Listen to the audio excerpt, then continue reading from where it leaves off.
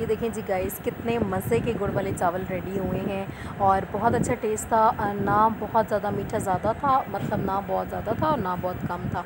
अच्छा फ्लेवर था, बहुत अच्छे से थे और अच्छे से खाए गए। आप लोग लाजमी ट्राई करें, मुझे बताएँ कि आपके कैसे बने? चलें जी आप चलते हैं रेसिपी की तरफ़। असलम गाइस कैसे आप सब? ये जी मज़े की एक चीज़ बन रही है तो मैंने सोचा मैं आपसे शेयर करती हूँ। क्विक सी रेसिपी है नेट से देखी है, कोई अपनी रेसिपी नहीं बनाई। लेकिन मैं आपको बता रही हूँ, यहाँ पे हो रहे हैं जी राइस बॉयल और यहाँ पे क्या हो रहा है? यहाँ पे गुड़ और उसके अंदर डाल के मैंने थोड़ा सा पानी और उसको मैं पकाने के लिए रखने लगी हूँ। अब आप बताएँ जी क्या बनने लगे तो आपको आइडिया तो हो गया होगा, आपने पिक्चर भी देख ली होगी स्टार्ट में। ये बन रहे हैं जी गुड़ वाले चावल। इसके लिए गुड़ को मेल्ट करने लगे हैं सबसे पहले और चावल बॉईल करने के लिए रख दिए हैं। चलें जी, काम स्टार्ट करते हैं। चलें जी, इसको रख दिया है और हम 10-15 मिनट बाद देखते हैं। जी देखिए, इसमें बहुत मज़े की यूँ सिचुएशन हो रही है और ये मेल्ट हो रहा है, ठीक है?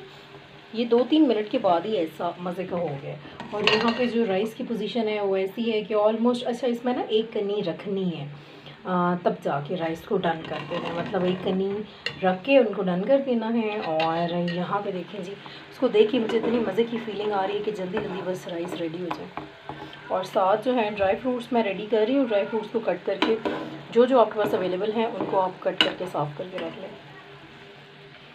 गाइस तो ये हो चुके हैं राइस मज़े के बॉयल अब यहाँ पे देखें तो ऐसी सिचुएशन होगी है वो मेल्ट हो गई गुड़ बिल्कुल बहुत मज़े का हो गया. अभी जी हम ड्राई फ्रूट को ज़रा रोस्ट करेंगे ऑयल में, और फिर उसके बाद मिक्स करेंगे और दम लगाएँगे चावल और ये गुड़ वाले मिक्सचर का.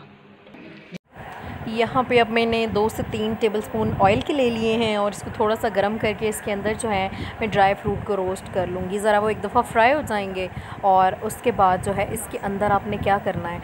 मैंने क्या किया था, मैंने पहले थोड़ा सा मिक्सचर गुड़ का डाला था और उसके बाद बॉयल्ड राइस और फिर गुड़ का मिक्सचर फिर बॉयल्ड राइस साथ ही मैंने टेस्ट कर लिया था। ये जैसे देखें ना मैंने सबसे पहले गुड़ का थोड़ा सा इसमें मिक्सचर डाला और यहाँ पे उसके ऊपर राइस और फिर दोबारा से गुड़ और राइस और मैंने चेक कर लिया था आ, जो मीठा था। तो मीठा जितना आपको चाहिए उसके अकॉर्डिंगली आप इसको एडजस्ट कर लें।